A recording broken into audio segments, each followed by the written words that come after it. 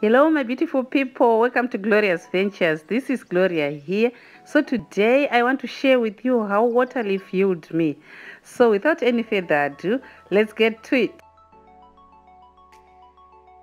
Like I have said before, most of the things that I share with you on this channel uh, have been tried and tested and they produce tangible results. So, I try to share with you guys in the hope that it might help someone who might be in the same situation.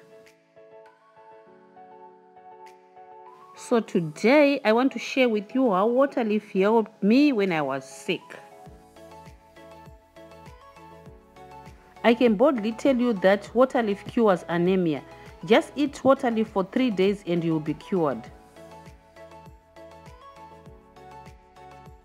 In 2020, I got so sick and my hands turned white. I had no blood. My skin was dry and wrinkly. My eyes were so dry that I used to apply castor oil in my eyes to keep them moist.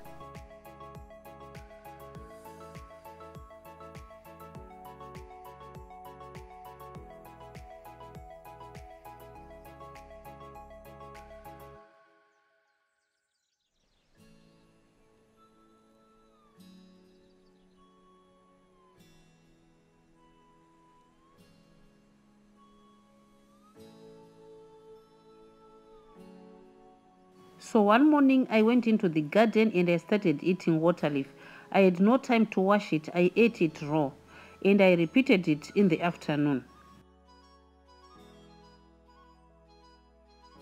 When I woke up the following morning, my eyes were moist and I started crying and tears actually came out of my eyes.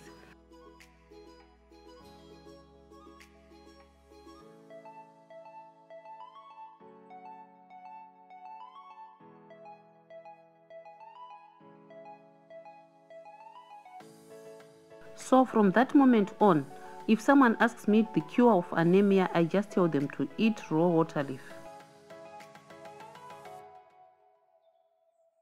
So if you are new here, consider subscribing to my channel and click the notification bell so that each time I post a video, you will be notified.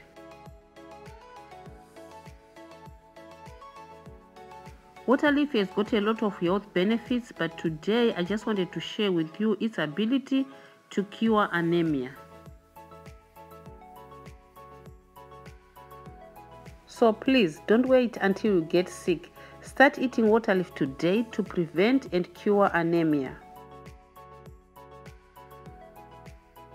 I now grow a lot of water leaf in my yard. I can grow it in bags, buckets and even under trees.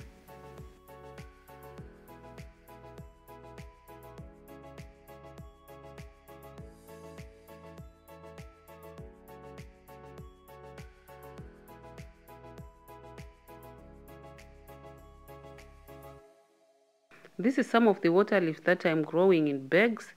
So there are many ways you can incorporate um, water leaf in, into your diet. You can make smoothies, you can put it in salads, you can cook as vegetable or you can eat it raw. That is all for today guys. If you like this video, please give it a thumbs up. For more content like this, subscribe to my channel and click that notification bell. Thank you so much for watching and stay healthy. Bye.